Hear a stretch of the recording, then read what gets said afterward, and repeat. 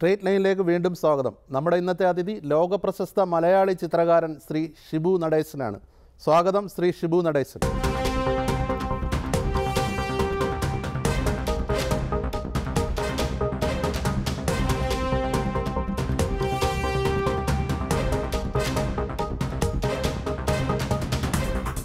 താങ്കൾ ഒരു ലോക പര്യടനത്തിലാണെന്ന് നേരത്തെ വായിച്ചിരുന്നു. അതായത് ലോകരാജ്യങ്ങൾ സന്ദർശിച്ച് ലാൻഡ്സ്കേപ്പ് രചനകൾ നടത്തുന്നു.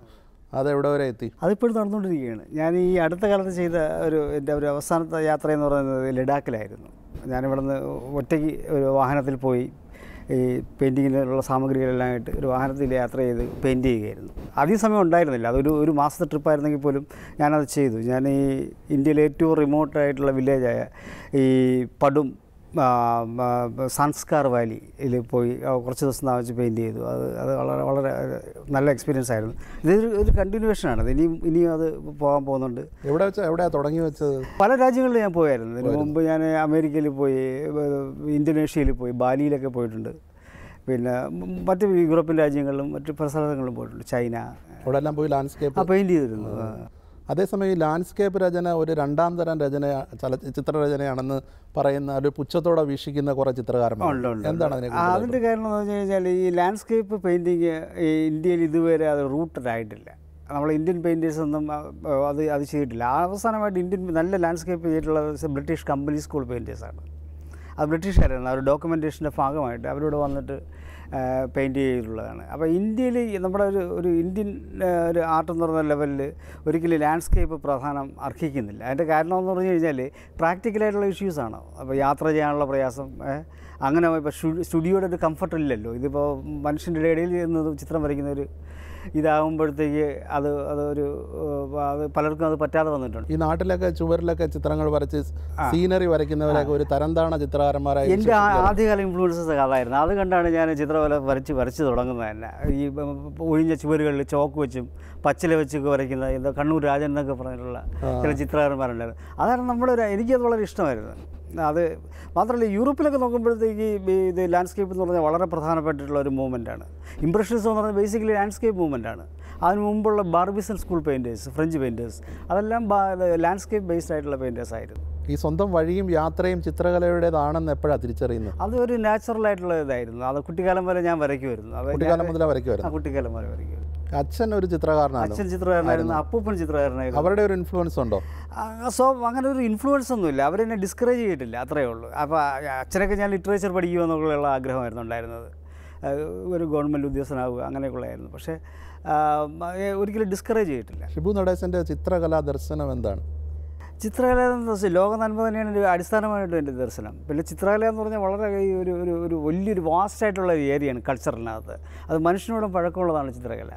ഇപ്പോൾ ഗുഹാമനുഷ്യനിൽ തുടങ്ങുന്നതാണ് ഇതിന്റെ ഇതിന്റെ ഈ പ്രാക്ടീസിന്റെ ഇത്. പിന്നെ ഈ കാലാകാലങ്ങളിൽ എല്ലാ ചരിത്ര നൂറ്റാണ്ടുകളിലും ഈ അമേസിംഗ് ആയിട്ടുള്ള ചിത്രകാരന്മാരുണ്ടായിരുന്നു. ഇന്ത്യയിലായാലും എവിടെയായാലും ലോകത്തിന്റെ ഏത് ഭാഗത്തായിരുന്നാലും. അപ്പോൾ ഈ നമ്മുടെ ഈ കാലഘട്ടം ചിത്രത്തിൽ ചെയ്യാവുന്ന ഒരുപാട് കാര്യങ്ങൾ ചെയ്തു കഴിഞ്ഞു. ഗ്രേറ്റ് പെയിന്റേഴ്സ് ഉണ്ടായിട്ടുണ്ട്. ഇന്ത്യയിൽ ഇന്ത്യയിൽ തന്നെ നമുക്ക് ധാരാളം പെയിന്റേഴ്സ് ഉണ്ട്. രവിവർമ്മ തുടങ്ങിയിട്ടുള്ള ധാരാളം പെയിന്റേഴ്സ് നമുക്ക് ഇന്ത്യ നമുക്ക് ഇന്ത്യയിലുണ്ട് അല്ലാതെ നയൻ സുഖ് എന്നൊക്കെ പറഞ്ഞിട്ടുള്ള പഴയ പെയിന്റേഴ്സ് അപ്പോൾ എന്റെ ഒരു കാലം വരുമ്പോഴത്തേക്ക് ഞാനിപ്പോൾ ഒരു ആകാശം വരയ്ക്കുമ്പോൾ ഉദാഹരണത്തിന് ഈ ആകാശം വരച്ചിട്ടുള്ള ഒരു പ്ലെന്റി ഓഫ് പെയിന്റേഴ്സ് ഉണ്ട്. അപ്പോൾ അവരൊക്കെ മനസ്സിലൂടെ കടന്നു പോകുന്നത്. അതൊക്കെയാണ് അതിന്റെ ഒരു ഒരു കണക്ഷൻ എന്ന് പറയുന്നത്. ചിത്രകലയിൽ ബിരുദ പഠനം നടത്തിയ കോളേജ് ഓഫ് ഫൈൻ ആർട്സ് ഞാൻ തിരുവനന്തപുരം കോളേജ് ഓഫ് ഫൈൻ ആർട്സിൽ പഠിച്ചു. അന്നത്തെ ഒരു അധ്യാപകർ അന്നത്തെ ഒരു സഹപാഠികളൊക്കെ ആരാ അന്നത്തെ എന്റെ പ്രൊഫസർ കെ വി ഹരിദാസനായിരുന്നു. കാനായി സ്കൾപ്ചർ ഡിപ്പാർട്ട്മെന്റിലെ പ്രൊഫസറായിരുന്നു കാനായിട്ട് നല്ല കണക്ഷൻ ഉണ്ടായിരുന്നു. പക്ഷേ എന്റെ അധ്യാപനല്ലായിരുന്നു അദ്ദേഹം സ്കൾപ്ചറിലായിരുന്നു അന്ന് ഒപ്പം പഠിച്ച ആൾക്കാർ ഇപ്പോൾ ഈ രംഗത്ത് സജീവമായിട്ടുണ്ടോ ചിത്രകലയിൽ ജ്യോതി ബാസു ജ്യോതി കുമാർ ഗോപികൃഷ്ണ എന്ന് പറഞ്ഞ പല പല ചിത്രകാരന്മാരുണ്ട്. ഇപ്പോഴീ ഈ ചിത്രകലാ വിദ്യാലയങ്ങളിൽ നിന്ന് പ്രത്യേകിച്ചും കേരളത്തിൽ നല്ല ചിത്രകാരന്മാർ ഉയർന്നു വരുന്നുണ്ടോ? ഉണ്ടുണ്ട് ചിത്രകാരൻ കേരളം നല്ല ചിത്രകാരന്മാരെ പ്രൊഡ്യൂസ് ചെയ്തിട്ടുള്ള സ്റ്റേറ്റ് സ്റ്റേറ്റാണ് ഇപ്പോഴും ഉണ്ട് ഇപ്പോഴും ഉണ്ട് ഇപ്പോഴും ഉണ്ട്. ആ രീതിയിലുള്ള അവർക്കൊരു എക്സ്പോഷറും കിട്ടുന്നുണ്ടോ? ആ കുറേ പേർക്ക് കിട്ടുന്നുണ്ട്. കേരള ചിത്ര ഇപ്പോൾ രവിവർമ്മയിൽ തുടങ്ങുന്നതാണ്. കേരള ചിത്രമാർ മൈഗ്രേഷൻ എന്ന് പറഞ്ഞ രവിവർമ്മയിൽ തുടങ്ങുന്നതാണ്. അതിനു മുമ്പ് ശങ്കരാചാര്യ മൈഗ്രേറ്റ് ചെയ്തതാണ്. അപ്പോൾ അപ്പോൾ അങ്ങനെ ഒരു കേരളത്തിൽ അങ്ങനെ ഒരു എക്സ്പോഷർ കുറവാണ്. അപ്പോൾ പല ചിത്രകാരന്മാരും കേരളത്തിൽ നിന്ന് പുറത്തു പോയിട്ടുള്ളവരാണ് ബറോഡയിൽ ബിരുദ പഠനം കഴിഞ്ഞിട്ട് പിന്നെ ബറോഡയിലേക്ക് പോയി? ഞാനോ? ഞാൻ തിരുവനന്തപുരം കഴിഞ്ഞിട്ട് ബറോഡയിലേക്ക് പോയി. അവിടുത്തെ ഒരു സാഹചര്യം അങ്ങനെയായിരുന്നു വളരെ ഗ്രേറ്റ് ബറോഡയിലാണ് എനിക്ക് എന്റെ ഒരു ഒരു ശരിക്കുമുള്ള നമ്മൾ റെക്കഗ്നൈസ് ചെയ്യപ്പെടുന്നത്. ബറോഡയിൽ പഠിക്കുന്ന സമയത്താണ്. ഇപ്പോൾ എന്റെ അവിടുത്തെ അധ്യാപകനായിരുന്ന മിസ്റ്റർ പി ഡി ധുമാൽ വളരെയധികം എന്നെ പ്രോത്സാഹിപ്പിക്കുന്നുണ്ട്. എന്റെ പ്രിന്റുകൾ ഞാൻ പ്രിന്റ് മേക്കിങ്ങാണ് എന്റെ എം എ ചെയ്യുന്നത് ബറോഡയിൽ. അപ്പോൾ ഞാൻ പ്രിന്റ് ചെയ്യുമ്പോഴത്തേക്ക് ഞാൻ വരച്ചിട്ട് പുള്ളിയാണ് വന്ന് എനിക്ക് പ്രിന്റ് ചെയ്തിരുന്നത്. പുള്ളി പറയുന്നത് "അത് നീ ടെക്നിക്കലായിട്ട് ചെയ്യേണ്ട അതൊക്കെ ടെക്നിക്കൽ എക്സ്പെർട്ട് എന്റെ ഒരു സഹായി മാതിരി ആയിരുന്നു എന്റെ എന്റെ അധ്യാപകൻ അവിടെ പെരുമാറിയിരുന്നത്. അദ്ദേഹത്തിന് എന്റെ ഭയങ്കര മഹത്തായ വിശ്വാസം ഉണ്ടായിരുന്നു. അത് കഴിഞ്ഞ് ആംസ്റ്റർഡാമിലേക്ക് പോയി. അത് കഴിഞ്ഞിട്ട് ഞാൻ രണ്ടായിരത്തി ആറിൽ എനിക്ക് യുനെസ്കോയുടെ സ്കോളർഷിപ്സ് കിട്ടിയിട്ട് ആ- ആംസ്റ്റർഡാമിലെ Rijks academy van Beeldende Kunsten എന്ന് പറയുന്നത് ഒരു അതായത് ലോകത്തിലെ ഏറ്റവും പഴക്കമുള്ള രണ്ടാമത്തെ ആർട്ട് ഇൻസ്റ്റിറ്റ്യൂഷനാണ്. ആദ്യത്തേത് ബ്രിട്ടീഷിന്റെ ബ്രിട്ടനിലെ റോയൽ അക്കാഡമി. അത് കഴിഞ്ഞാൽ റൈക്സ് അക്കാഡമിയാണ് നെതർലാൻഡ്സിലെ. അവിടെയാണ് അവിടെയാണ്. അപ്പോൾ ഈ റൈക്സ് അക്കാഡമിയുടെ ഒരു പ്രത്യേകത എന്ന് പറഞ്ഞു കഴിഞ്ഞാൽ അത് ഞാൻ പോകുന്ന സമയത്ത് ഒരു ആർട്ട് സ്കൂളല്ല അത്. ഒരു ആർട്ട് സെന്ററാണ് അത്. അപ്പോൾ അവിടെ അങ്ങനെ ഡിഗ്രി ഒന്നും കൊടുക്കുന്നില്ല. രണ്ട് വർഷം വർക്ക് ചെയ്യാം. എന്നിട്ട് ലോകത്തിലെ ഏറ്റവും പ്രസിദ്ധപരമായ ചിത്രകാരന്മാരും മറ്റ് ഡിസിപ്ലിനുള്ള കലാകാരന്മാരുമായിട്ട് നമുക്ക് ഇന്ററാക്ട് ചെയ്യാൻ പറ്റും. അപ്പോൾ ആ രീതിയിൽ ഞാൻ ഇറച്ച ഡീക്കൺ ലുക്ക് തൈമൻസ് എന്ന് പറയുന്ന ആ, സി ന്യൂമാൻ അങ്ങനെ ധാരാളം യൂറോപ്യൻ വെല്ലേഴ്സുമായിട്ട് ഞാൻ ഇത്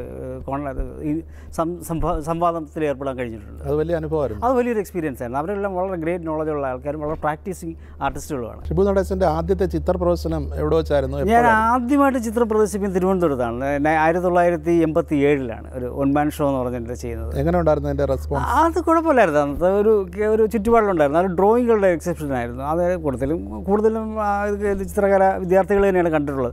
കോളേജിലെ ഒരു ഗാലറി സ്പേസിൽ വെച്ചാണ് അത് കാണിച്ചിരുന്നത്. ശരി.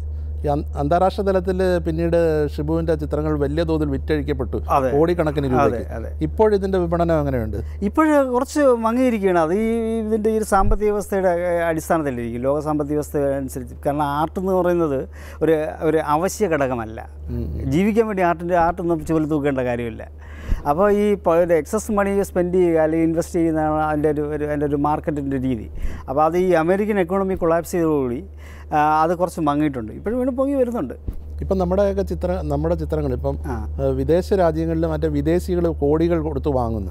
മറിച്ച് കേരളത്തിലേക്ക് വന്നു കഴിഞ്ഞാൽ ഇത് പണം കൊടുത്ത് വാങ്ങാനൊരു പ്രേരണ ഇനിയും വന്നിട്ടില്ലല്ലോ. കേരളത്തിന്റെ കേരളത്തിന്റെ ഒരു എക്കണോമി ഒരു സ്വഭാവം. നമ്മൾ ഒരു സാധാരണ എടുത്തു കഴിഞ്ഞാൽ അവരുടെ ഏറ്റവും വലിയ അംബിഷൻ ഒരു കാർ ഉണ്ടാവുമല്ലോ ഫ്രിഡ്ജ് ഉണ്ടാക്കുക വാഷിംഗ് മെഷീനൊക്കെ അതിൽ ഒതുങ്ങുന്നതാണ് നമ്മൾ നമ്മുടെ ഒരു ഒരു ഒരു ആഗ്രഹങ്ങൾ എന്ന് പറഞ്ഞാൽ. അപ്പോൾ അതിലുപരിയുള്ള ആഗ്രഹങ്ങളുള്ള ജനങ്ങൾ ഉണ്ട് ഇവിടെ. പക്ഷേ അവരുടെ ടേസ്റ്റുകൾ ഒരുപക്ഷെ വേറെ ആയിരിക്കാം. പിന്നെ എനിക്ക് കേരളത്തിലെ ആർട്ട് കളക്ടേഴ്സിനെ എനിക്ക് അറിയില്ല ആരാണെന്നുള്ളത്. അല്ലെങ്കിൽ ഈ രാജാ രവിവർമ്മയും കെ സി എസ് പണിക്കരെയും പോലുള്ള വലിയ ചിത്രകാരന്മാർ കേരളത്തിൽ നിന്ന് വന്നിട്ടും. ഈ ഇത്തരം ഒരു ഒരു ചിത്രകലയോടൊരു അടുപ്പം മലയാളിക്ക് വലിയ രീതിയിൽ ഉണ്ടാകാതെ പോയ എന്താണ്? ചിത്രകലയുടെ ഒരു അടുപ്പമില്ലായ്മയല്ല. ഒന്നാമത്തെ കാര്യം ഇത് ഇത് മാധ്യമങ്ങൾ.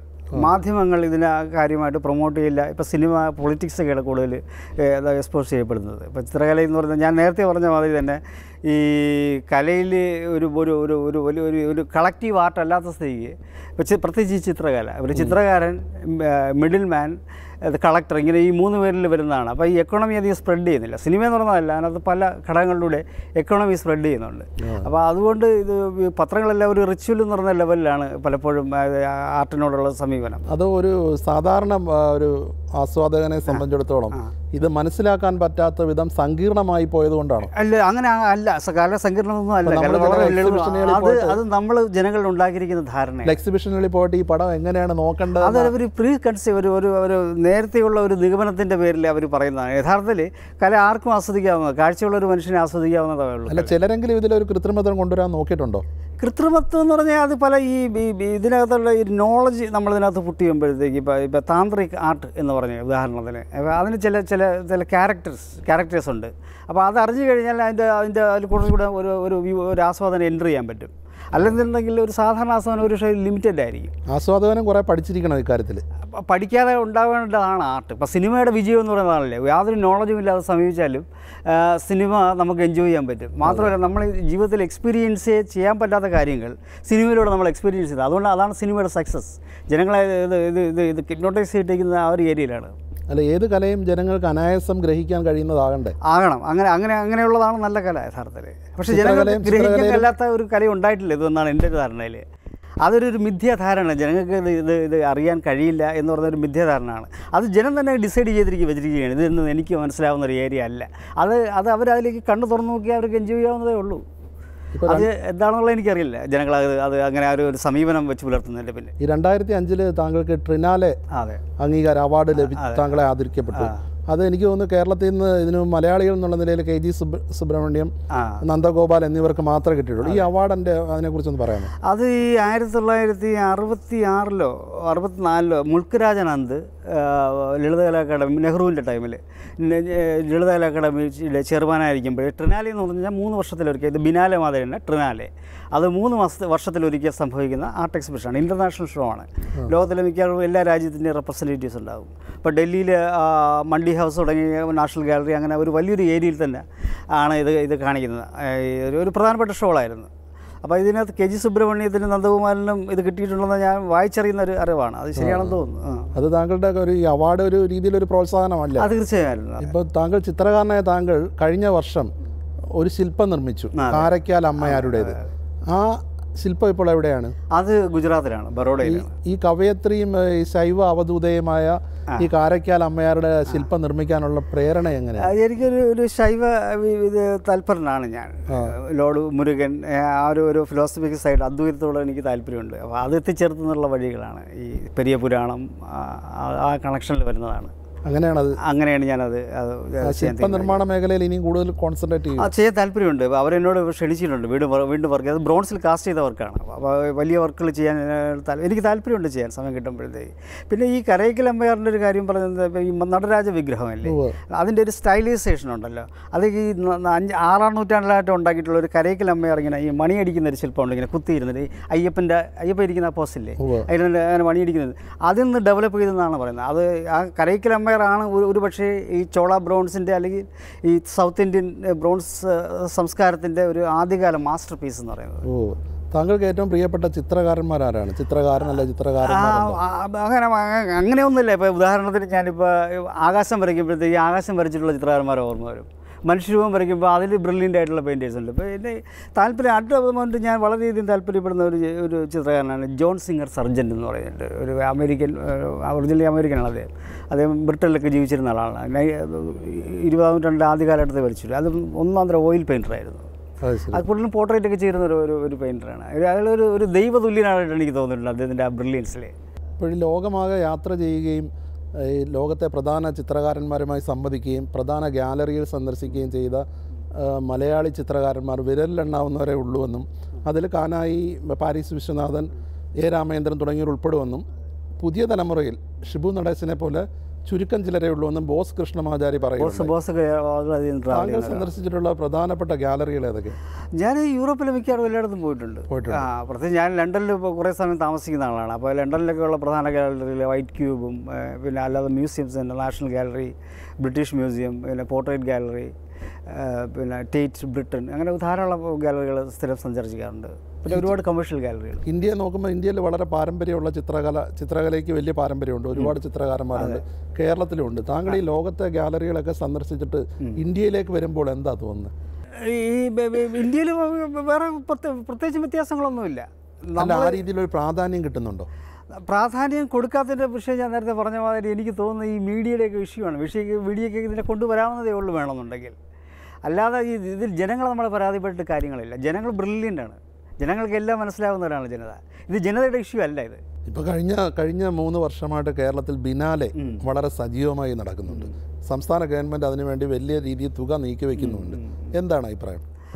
അത് പലരും അത് പലർക്കും അത് പ്രയോജനപ്പെടുന്ന ഉള്ളൊരു സാധനമാണ്. പിന്നെ തന്നെ ബിനാലെ എന്റെ ഒരു അറിവില്ല. അതൊരു ടൂറിസത്തിന്റെ ഡിപ്പാർട്ട്മെന്റിന്റെ ഒരു ഒരു ഒരു ഒരു- ഒരു പ്രൊമോഷന്റെ സാ ഒരു ഒരു ഒരു ഇവന്റാണത് പിന്നെ ഇത് ബിനാലയിൽ ഒരു ഉദ്ദേശിക്കുന്ന ഒരു ഒരു ഒരു അതിന്റെ ഒരു ഒരു ഒരു ഒരു ഒരു ആർട്ടിന്റെ ആ ഒരു ഒരു ഒരു ട്രെൻഡ് ആ ഒരു രീതി എന്ന് പറഞ്ഞാൽ വളരെ വെസ്റ്റേൺ ആയിട്ടുള്ള ചില ട്രെൻഡുകൾ എടുത്ത് ഉപയോഗിക്കുക. അതൊരു എനിക്ക് എനിക്കതിനോട് തോന്നിയിട്ടുള്ള ഒരു എതിർപ്പ് എന്ന് പറഞ്ഞു കഴിഞ്ഞാൽ വെസ്റ്റിന്റെ ആർട്ട് നമ്മളിവിടെ മാർക്കറ്റ് ചെയ്യാൻ ശ്രമിക്കുകയാണ് ടാക്സ് പേഴ്സിന്റെ ബിനാലെയുടെ. ആ.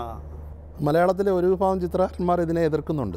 കാരണം നമ്മൾ ഒരുപാട് ചിത്രകാരന്മാരുള്ള ഒരു സ്റ്റേറ്റാണ് കേരളം. പ്രത്യേകിച്ച് കേരളം ഇപ്പോൾ ഇന്ത്യയിൽ ഇപ്പോൾ കർണാടക തുടങ്ങിയിട്ടുള്ള സ്റ്റേറ്റുകൾ ഉദാഹരണത്തിന് ഒരു മനുഷ്യന്റെ ഒരു ടെൻഡൻസിയെ കുറിച്ച് പറയുകയാണ്. മറ്റ് സ്റ്റേറ്റുകൾ എന്ന് പറഞ്ഞു കഴിഞ്ഞാൽ നവീനം എന്ന് പറയുന്നതിൽ ചാടി വീഴുന്ന ഒരു സ്വഭാവമുണ്ട് മറ്റുള്ള സ്റ്റേറ്റ്. ഇപ്പോൾ കർണാടകയിലൊക്കെ ഒരുപാട് ആർട്ടിസ്റ്റുകൾ പെയിന്റിങ്ങുകളൊക്കെ നിർത്തിയിട്ട് മറ്റ് കാര്യങ്ങൾ ചെയ്യുകയാണ്. മറ്റേ മലയാളികൾ അങ്ങനെയല്ല. ഇപ്പോഴും മലയാളികൾ അതിലൊക്കെ വളരെ സസ്പിഷ്യസ് ആണ്. വളരെ ക്രിട്ടിക്കലായിട്ടാണ് കാണുന്നത്. ധാരാളം പെയിന്റേഴ്സ് ഉള്ള സ്ഥലമാണ് കേരളം.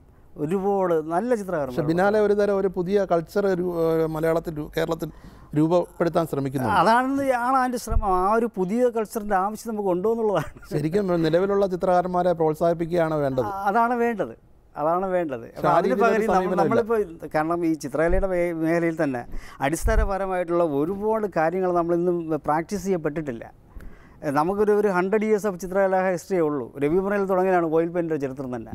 ഒരുപാട് കാര്യങ്ങൾ നമ്മൾ ഇന്നും അഡ്രസ്സ് ചെയ്യേണ്ടിയിരിക്കുന്നു. അത് അഡ്രസ്സ് ചെയ്യാതെയാണ് നമ്മൾ മറ്റ് ടെൻഡൻസികളിലേക്ക് അത് ജമ്പ് ചെയ്യുന്നത്. ഇപ്പോൾ വെസ്റ്റിന്റെ ഒരു തമാശ എന്ന് പറഞ്ഞു കഴിഞ്ഞാൽ അവരെല്ലാം ഇതെല്ലാം കളഞ്ഞുകൊണ്ടിരിക്കുകയാണ്. അവർ പെയിന്റിങ്ങിലേക്ക് തിരിച്ചു വരികയാണ് അവർ ചെയ്യുന്നത് അവർ ഇതിന്റെ ഒരു സംഭവം എന്ന് പറഞ്ഞാൽ എന്റെ ഒരു എന്റെ ഒരു പൊളിറ്റിക്സ് എന്ന് പറഞ്ഞു കഴിഞ്ഞാൽ ഇപ്പോൾ നമ്മൾ വിൻസെന്റ് വാൻഗോവിന്റെ ചിത്രം ഇത്ര കോടി രൂപയ്ക്ക് വിറ്റു എന്നൊക്കെ പറഞ്ഞിട്ട് നമ്മളൊരു വാ ഗ്രേറ്റ് പെയിന്റർ. പക്ഷേ ഇതിന്റെ എക്കോണമി പോകുന്ന ആർക്കാണ്? അവർക്ക് തന്നെയാണ്. അവരുടെ ആൾക്കാർ വാങ്ങിച്ചിട്ട് അദ്ദേഹത്തിനെ മാർക്കറ്റ് ചെയ്യാണ് ചെയ്യുന്നത്. അവർ ചെയ്യുന്നത് എപ്പോഴും ആ- രീതിയിലുള്ള ഒരു ഒരു ഒരു ഒരു സമീപനമാണ്. നമ്മൾ അതിന്റെ പുറകെ നമ്മൾ നമ്മളതിന്റെ പുറകെയാണ് പോവുകയാണ്. മാത്രമല്ല അവരുണ്ടാക്കുന്ന ഈ ആർട്ടിസ്റ്റ് ഹിസ്റ്ററി തന്നെ. യഥാർത്ഥത്തിൽ ഒരു ഓപ്ഷൻ ഒരു ഒരു ഓപ്ഷൻ കാറ്റലോഗാണത് കലാചരിത്രം കള്ളമാണെന്നും അത് കലാചരിത്രം എന്ന് അവരുടെ പറയുന്ന തൽപരരായിട്ടുള്ള- ലേലം വിളിയുടെ കാറ്റലോഗാണെന്നും താങ്കൾ പറഞ്ഞു അവരുടെ അവരുടെ അവരുടെ താല്പര്യം അനുസരിച്ചിട്ടുള്ള ഒരുപാട് ആർട്ടിസ്റ്റുകൾ അവർ ഇൻക്ലൂഡ് ചെയ്തിട്ടുണ്ട് ഇപ്പോൾ എന്റെ സമയത്തുള്ള ഇന്ന് ഞാൻ ചിത്രകല പഠിക്കുമ്പോഴത്തേക്ക് ഞാൻ ഈ ആർട്ടിസ്റ്റിലുള്ള പല ആർട്ടിസ്റ്റുകളും ഞാൻ നോക്കാറേയില്ല. എനിക്ക് വളരെ അൺനോൺ ആയിട്ടുള്ള അല്ലെങ്കിൽ ലിറ്റിൽ നോൺ ആർട്ടിസ്റ്റുകളാണ് എനിക്ക് കൂടുതൽ അഫിനിറ്റി ഉള്ളത്. കാരണം അവരാണ് ബ്രില്യന്റ് ആയിട്ട് എനിക്ക് അന്ന് ഞാനത് നെതർലാൻഡ്സിൽ പഠിക്കുന്ന സമയത്ത് എനിക്ക് മനസ്സിലായിട്ടുള്ളതാണ്. അപ്പോൾ ഈ നെതർലാൻഡ്സിന്റെ ഒരു പ്രത്യേകത എന്ന് പറഞ്ഞാൽ ചിത്രകലയ്ക്ക് ഇത്രയധികം പ്രാധാന്യം കൊടുത്തിട്ടുള്ള ഒരു രാജ്യവും ലോകത്തില്ല. അവിടെ നമ്മൾ ഇവിടുത്തെ പൊളിറ്റീഷ്യൻസിന്റെ സ്റ്റാച്യു കാണുന്ന സ്ഥലത്ത് അവിടെ കാണുന്ന ചിത്രകാരന്മാർ റംബ്രാൻഡും വെർമേറും ഫ്രാൻസ് ഹാൾസും അങ്ങനെ തുടങ്ങിയിട്ടുള്ള ചിത്രകാരന്മാരുടെ സ്റ്റാച്യു ആണ് റോഡ് സൈഡുകളിൽ കാണുന്നത്. ഇപ്പോൾ ആർട്ടിസ്റ്റുകളെ ഫിലോസഫേഴ്സ് ദൈവമായി കണ്ടിട്ടുള്ള ഒരു രാജ്യമാണ്. അപ്പോൾ അവിടെ നിന്ന് പറഞ്ഞാൽ അവിടെ ഈ ചെറിയ ഒരു ഒരു വില്ലേജിൽ താമസിച്ചിട്ടുള്ള ചിത്രകാർ ഉദാഹരണത്തിന് ഇപ്പോൾ ട്രിവാൻഡ്രം പോലുള്ള ഒരു സ്ഥലത്ത് ട്രിവാൻഡ്രത്ത് മാത്രം താമസിച്ചിട്ടുള്ള ചിത്രകാരന്മാരുടെ മ്യൂസിയം ഉണ്ട്. ഈ പ്രൊവിൻഷ്യൽ മ്യൂസിയം എന്ന് പറയും അതിനെ. അവിടെ എല്ലാ സ്ഥലത്തും ഉണ്ട്. അതെന്ന് പറഞ്ഞാൽ അവിടെ ജീവിച്ചിരുന്ന ആരും അറിയാതെ ജീവിച്ചു പോയ ചിത്രകാരന്മാരുടെ വർക്കുകളാണ് അതെന്ന് പറഞ്ഞാൽ ബ്രില്യന്റ് ആണ്. ദൈവികമായ ചിത്രങ്ങളാണ്. അപ്പോൾ അപ്പോൾ അപ്പോഴാണ് എനിക്ക് മനസ്സിലായി ഈ ആർട്ടിസ്റ്റിൽ നമ്മൾ പറയുന്നത് എന്ന് പറഞ്ഞാൽ അത് വേറെ ചില കൺസിഡറേഷനിലാണ് പറയുന്നത്. യഥാർത്ഥ ചിത്രകാരന്മാർ സത്യത്തിൽ ഇന്നും അറിയപ്പെടാത്ത യഥാർത്ഥ ചിത്ര- ചിത്രകാരന്മാർ ഈ ചരിത്രത്തിൽ വന്നിട്ട് ചരിത്രത്തിൽ വന്നിട്ടില്ല ചരിത്രം വരുത്തില്ല. ഈ ഇന്ത്യ ലോകത്തിന് സംഭാവന നൽകിയ മഹാചിത്രകാരന്മാരെന്ന് പറയുന്ന ഒരാളാണ് ഇന്ത്യ രവിവർമ്മ ബ്രില്യന്റ് ആയിട്ടുള്ള പെയിന്ററാണ് പിന്നെ ധാരാളം സൈലോസ് മുഖർജി വിനോദ് ബിഹാറി മുഖർജി അങ്ങനെ നമ്മൾ ചരിത്രത്തിൽ ഒരുപാട് ഭൂപൻ കക്കർ പിന്നെ നമുക്ക് തന്നെ കെ സി എസ് മണിക്കറുണ്ട്. മാധവ മേനോനുണ്ട് കാനായി ഉണ്ട് അങ്ങനെ പലരുണ്ട് ഈ ഭൂപൻ കക്കർ ലക്ഷ്മ ഗൗഡ എന്നിവരുമായിട്ട് ലക്ഷ്മ ഗൗഡ് ലക്ഷ്മ ഗൗഡ് താങ്കൾക്ക് വളരെ വലിയ അതെ അതെ. അടുപ്പമുണ്ടായിരുന്നു. അതുപോലെ ഭു- ഭുവനുമായിട്ടാണ് ഞാൻ ആ- ഭുവന്റെ നൈബറായിരുന്നു ഇവിടെ താമസിക്കുന്ന അദ്ദേഹം എന്റെ അയൽവാസിയായിരുന്നു സ്ഥിരം കാണുമായിരുന്നു. പിന്നെ ആദ്യമായിട്ട് ഞാൻ യൂറോപ്പിലായിരുന്ന സമയത്ത് എന്നെ ഭൂപൻ ആ സമയത്ത് ഒരു മൂന്ന് മാസത്തെ ആംസ്റ്റർഡാമിലുണ്ടായിരുന്നു. എന്നെ സ്ഥിരം കാണാൻ വരുമായിരുന്നു. ഞങ്ങൾ ഒരുമിച്ചാണ് ജർമ്മനിയിലേക്ക് യാത്ര ചെയ്യുന്നത് അതൊക്കെ ചെയ്തിട്ടുള്ളത്. ഭൂപൻ ബ്രില്യന്റ് ആയിട്ടുള്ള എല്ലാ ദിവസവും പെയിന്റ് ചെയ്യുന്ന ഒരാളായിരുന്നു ഭൂപൻ. അതൊരു ഒരു ഒരു അത് അതൊരു അത് തന്റെ ജീവിത ജീവിക്കാൻ വേണ്ടിയിട്ട് പെയിന്റ് ചെയ്യണമെന്ന് പറയുന്ന അതേ തരത്തിലുള്ള ഒരു ചിത്രകാരനാണ് ലക്ഷ്മ ഗൗഡ്. എല്ലാ ദിവസവും വർക്ക് ചെയ്യും. അതൊരു ഒരു പത്ത് പന്ത്രണ്ട് മണിക്കൂറൊക്കെ പെയിന്റ് ചെയ്യുക എന്ന് പറയുന്നത് അത്ര വലിയൊരു മെഡിറ്റേഷനാണത് അത് അത് അത്ര ഫോക്കസ്ഡ് ആണ് ധ്യാനം പോലെയാണ്. ആ ധ്യാനമാണത്. താങ്കൾക്ക് പെയിന്റിങ്ങിനുള്ള ഒരു ഊർജം ലഭിക്കുന്നത് എവിടെ നിന്നാണ് എന്റെ ഊർജം എന്ന് പറയുന്നത് പ്രകൃതി പിന്നെ എന്റെ ഒരു ഒരു ചിന്ത ഇവയെല്ലാം തന്നെയാണ്. ഈ അദ്വൈത വേദാന്തമാണ് ഇന്ത്യ നൽകിയ ഏറ്റവും വലിയ സംഭാവന എന്ന് താങ്കൾ പറഞ്ഞിട്ടുണ്ട്. അതെ. എങ്ങനെയാണ് ഈ അദ്വൈതത്തിലേക്ക് താങ്കൾ എത്തിയത്? അതൊരു അത് എന്നിലുള്ള ഒരു റെസ്പെക്റ്റ് ആയിരിക്കണം പിന്നെ ഞാനത് എന്റെ വൈഫിലൂടെ വൈഫ് സ്പിരിച്വാലിറ്റിയിൽ വളരെ രീതിയിൽ താല്പര്യമുള്ളവരായിരുന്നു അപ്പോൾ വൈഫ് പിന്നെ പി രവികുമാറിലൂടെ ഞാൻ അറിയുന്ന ഒരുപാട് ജ്ഞാനങ്ങൾ അങ്ങനെ അങ്ങനെ പലതും ആ, എന്നെ വളരെയധികം സ്വാധീനിച്ചിട്ടുണ്ട്. അത് നമ്മളുള്ളൊരു ആസ്പെക്റ്റാണ് പിന്നെ കുട്ടിക്കാലത്ത് തന്നെ ഇപ്പോൾ ഈ കുട്ടിക്കാലത്ത് നമ്മൾ ഈ ദൈവങ്ങളുടെ ചിത്രങ്ങൾ കാണുമല്ലോ? ചുവരിൽ നമ്മൾ ഫോട്ടോ. അതിൽ മുരുകന്റെ ചിത്രം എന്നെ പ്രത്യേകിച്ചും ആഗ്രഹിച്ചിട്ടുണ്ട്. ഇപ്പോഴും എന്നോട് ആരെങ്കിലും ലോകത്തിലെ ഏറ്റവും വലിയ മനോഹരമായ വർക്ക് വർക്ക് ഫാട്ടെന്ന് വെച്ചാൽ മുരുകന്റെ ആ മയിൽപീലിയുടെ നിർത്തുന്ന മുരുകന്റെ മുന്നിൽ നിൽക്കുന്ന ആ ബാലമുരുകനാണ് എന്നെ സംബന്ധിച്ചുള്ളത് എത്ര ഡിവൈനായിട്ട് ഇന്നും എനിക്ക് തോന്നുന്ന ഒരു ചിത്രം. അത് ആര് വരച്ചെന്നറിയാം ഇതൊരു തമിഴ് ചിത്രം വരച്ചാണ് താങ്കളുടെ കലയും ജീവിതത്തെയും മുന്നോട്ട് നയിക്കുന്ന ആധ്യാത്മികമായിട്ടുള്ള ഒരു ഉൾക്കാഴ്ചയിൽ നിന്നാണ് അതാണ് എന്റെ ഒരു ഒരു എനർജി എല്ലാം ഒന്നായി കാണാൻ പറ്റുന്നു എന്നുള്ളത് എല്ലാത്തിനും സർവസ്നേഹം സർവത്തിനോടും സ്നേഹം എന്ന് പറയുന്ന ഒരു അവസ്ഥയാണ് എന്നെ നയിക്കുന്നത്.